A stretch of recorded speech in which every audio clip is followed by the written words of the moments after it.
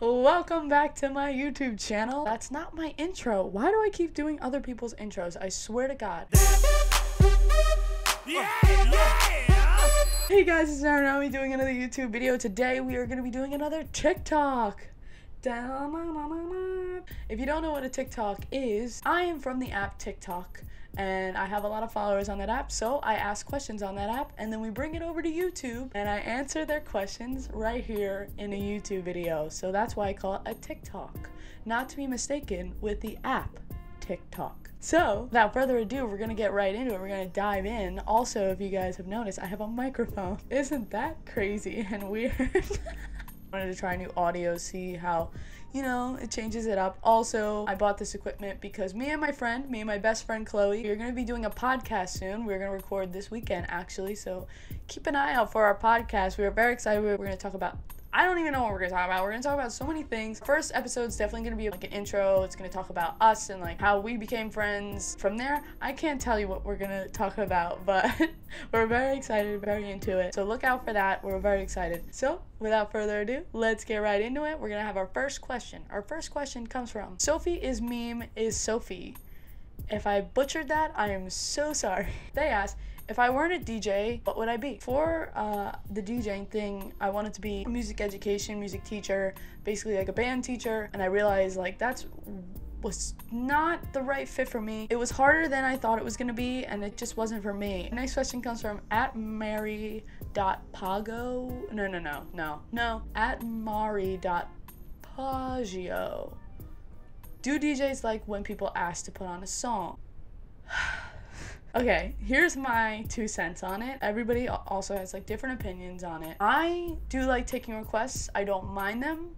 I just don't like when the person thinks that like their music taste is better. Like don't be like um can you change the song? Like this isn't good. Like way to like just stab me in the heart. Like it like it's not nice and it doesn't feel good. But like I do like taking especially at private events I like taking requests because I want to know like what the people at the party want to hear. Um, because private events are a little different from the club scene, which at the club I re- like it's like a rare occasion when I take a request because I want to just do my thing and just prove to the crowd that like I know what they want to hear. But when it comes to like private events, like a wedding or something, like I'll definitely take requests because it's all different age groups. So it's like I'm not gonna know what like a 60 year old person wants i'm not going to know what like a little little kid wants so i don't mind taking requests at those things but when it comes to clubs like let the dj do their thing next question at jack on felt dot date me yeah that's it they say how many well-known people have you dj'd for youtubers etc celebrities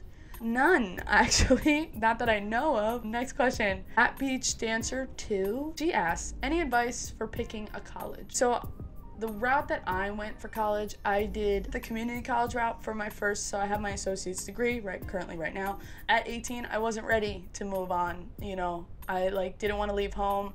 Um, also didn't have enough money to pay for school and go away, and I just wasn't mentally ready for that. I did community college, and you know, as much as it was kind of like high school all over again, it definitely was worth it. And I got to figure out like what exactly where I wanted to go. Like I didn't have to like worry about it at 18. I got to figure it out at like 20, 21 years old. And then now I'm at four year college and yeah, it's like amazing right now. Like I feel like I'm I picked I did it at the right time for myself. And I like that's how I believe you should pick your college is what you feel in your gut is right. I don't really have much. I'm like the worst at giving advice, so that's interesting. So we're gonna go on to the next question. Uh, next question comes from Chloe underscore lock underscore five. How did you first come across TikTok? Funny story actually. So basically, two summers ago, my one coworker was like, "Oh, you know what you should do with like your DJing?" And I was like, "What?"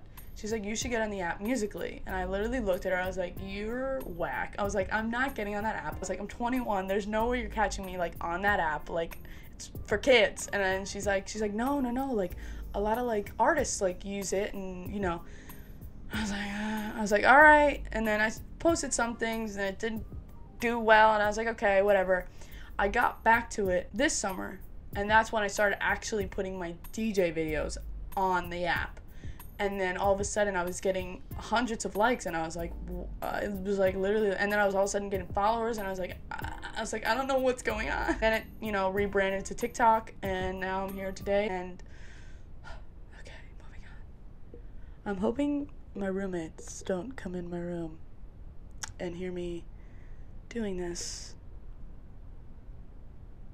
No. Okay. Next question comes from at Kate underscore shine.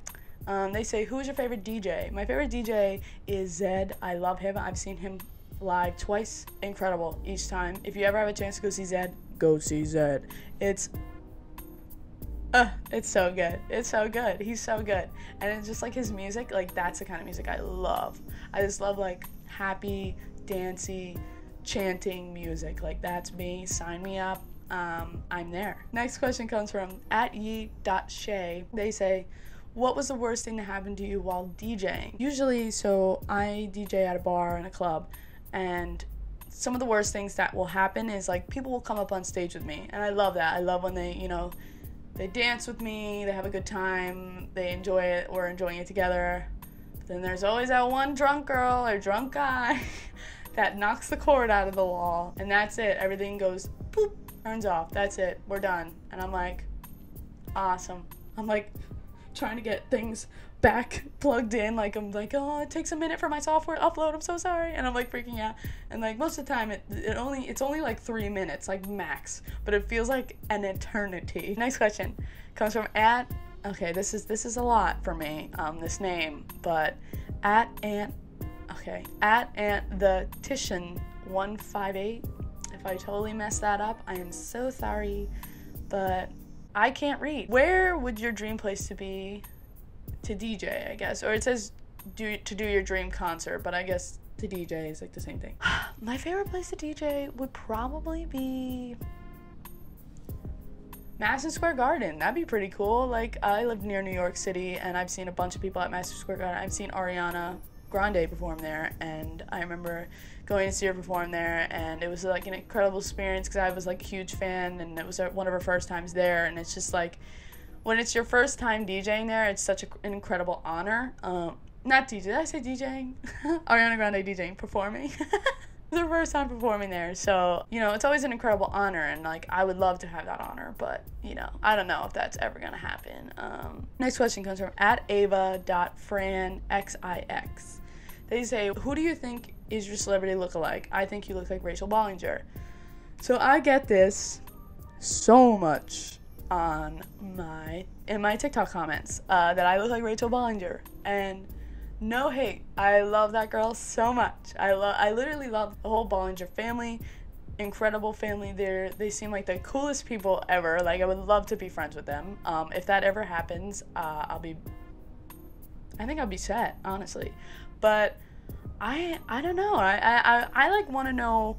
Comment below like why you think that. I mean, maybe it's the glasses or the hair, um, but I mean, I personally don't see it. Um, but like again, like I see myself every day, I guess. So like I just see me as me. Um, I don't even think I look like anybody else um, celebrity wise. If you have any other celebrities that I look like, comment below. Um, that'd be very interesting. Yeah, I love her so much. Like, she's awesome. You know, it'd be so crazy, like, if one day, like, we made a video together, like, I'd be like, this is my doppelganger, apparently, and we're making a video together. Like, if it somehow got out that, like, I look like her and she found like she saw that like I think that would be so cool if we like made a video together like it'd be really cool. I think I heard myself say like about a hundred times in this one video clip. I'm so sorry. The last question, so there's only one more question, unfortunately, is from at funny at oh god at funny acts cafan says. Were your parents supportive of you of your DJ career? Yes, 100%. My parents love it. They literally they'll come to my gigs. They love seeing me play. And my dad recently, funny enough, he downloaded the app TikTok. He made me get him the, the app TikTok and he just he literally just watches the videos and looks at the comments, sees all the likes, and he's like, he's mind blown. He thinks it's incredible. Like he, i I'm like, Dad. He literally tells people whenever we're like out, he goes, "So, do you have the app TikTok?" And I'm like, Dad, stop. I'm like, that's so embarrassing. But yeah, he's so cute. He's so supportive. My mom is too. Um, and my whole family is like they they love that I'm a DJ. My sister will come out and see me DJ. My brother has come see me a few times DJ, and like he's also filmed a video for me once when I was DJing. So they all love it. Um, and I'm very blessed to have a family like them. I love them so much. The Constantines, shout out. That is it. That is the end of the Tik Talk for today. I hope you guys enjoyed watching, and I hope you guys enjoyed this new audio. Maybe if I like it, we'll keep it. I don't know. Like it's like ASMR, right? Like we got some ASMR vibes going on. Um, but yeah, thank you guys so much for watching. Uh, keep an eye out for new TikToks, new videos. Follow me on TikTok at Aaron66.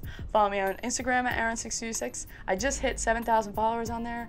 Insane. Uh, and keep on the lookout for new YouTube videos. You never know when they're going to come. I always just decide, hey, I'm going to make a YouTube video today. Also, keep an eye out for that podcast. Uh, it's going to be lit. We're going to talk. Me and my BFF Chloe. We're going to have a great time. So, keep an eye out for that. Uh, thank you, love you, keep it cute, keep it clean, always keep it clean. Love you, bye.